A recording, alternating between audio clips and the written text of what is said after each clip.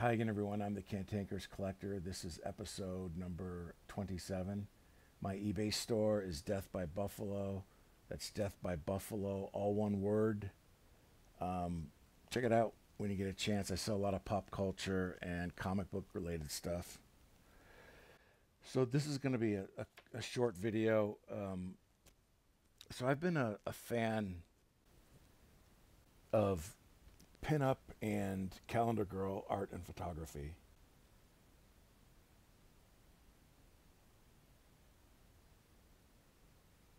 Uh, I love the um, the great pinup art of the mid 20th century. Uh, all these great master artists: um, Aslan, Moran, Ballantyne, Driben, Elvgren, Thompson, Willis, Vargas. McPherson, Ramos. I mean, there's just so many great pinup artists. And this includes the modern artists of the last several decades that continue to produce great quality pinup artwork and photography.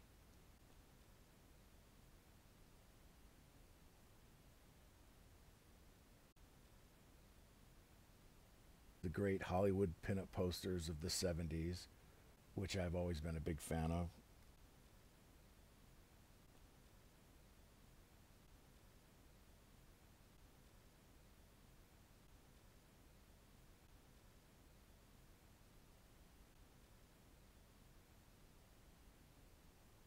So back in the early 90s, I saw images of a woman in an ad campaign that were stunning. I mean, I thought, wow, this woman is the epitome of what I think of as the classic pinup girl. She had a little Marilyn in her.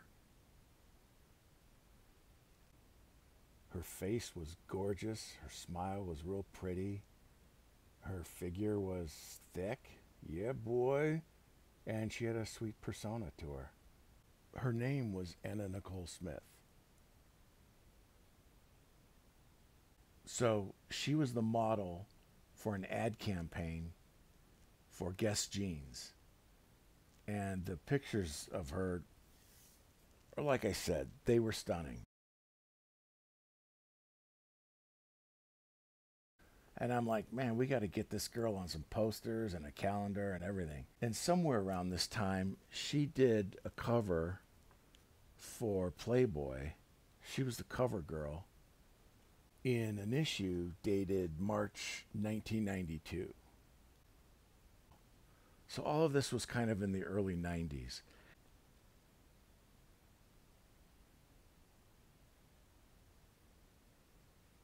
Then in 1993, she um, was named the uh, Playmate of the Year for Playboy. And that cover is just awesome. I mean, she was she was my idea of the of of the perfect pinup girl. I thought she was just gorgeous.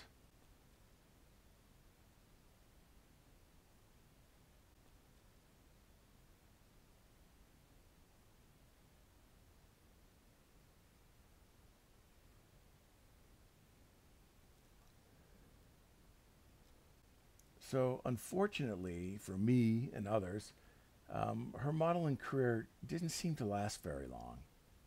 Uh, she did some modeling later on in her life and stuff. But I remember back in the 90s thinking, whatever happened to Anna Nicole? And it turns out she was active. She was uh, had a lot of bit parts in movies uh, in the mid to late 90s. They were movies I had never seen, so um, that was one of the reasons why I I thought she kind of disappeared, but but she was active and she was doing stuff. So in 1998, I had been going to a bunch of um, Hollywood collector shows and conventions and all type of stuff. And so I thought I would send an autograph request to Anna Nicole. And what I did was I ripped off these covers off two of these Playboy magazines. Instead of sending her, you know, the entire magazines and stuff, I sent a couple of covers to her. And these were sent. I've got notes, not not a lot of notes. I wish I would have taken more notes, but I sent these in 1998 to her home um, on Ashdale Avenue in Los Angeles. It's just like north of uh, UCLA. And I think it was the home that she had painted pink. I remember reading that she painted her home pink, and it. I think this was the one um, that she lived in. In fact, she moved out of this home in 1988. So I just, um, I almost missed her, I guess. And I do remember that I got these back real quick, like within one or two weeks. It was it was a real quick turnaround. You know, whenever I sent an autograph request, I try to make it as simple as possible. I just write a little note. Hi, how are you know how are you? I'm a collector. I was hoping you know you could sign these for my collection. Real small, quick note. I'd include a sharpie.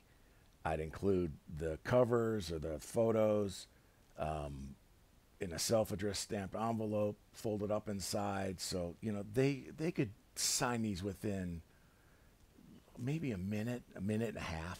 You know, so I try to make it real easy on them.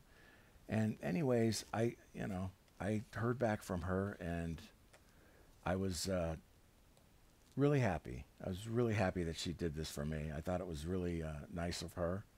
You know, they don't have to do this.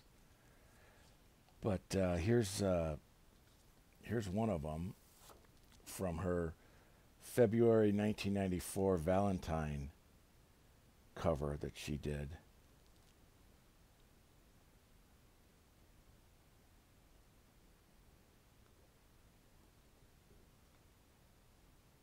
Great cover.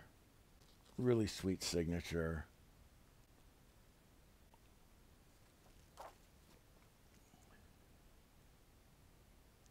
Very cool pinup collectible. I was real happy to get these. And then this second one here is her uh, June 1993 um, Playboy cover, which is just classic. It's just stunning. Yeah, boy.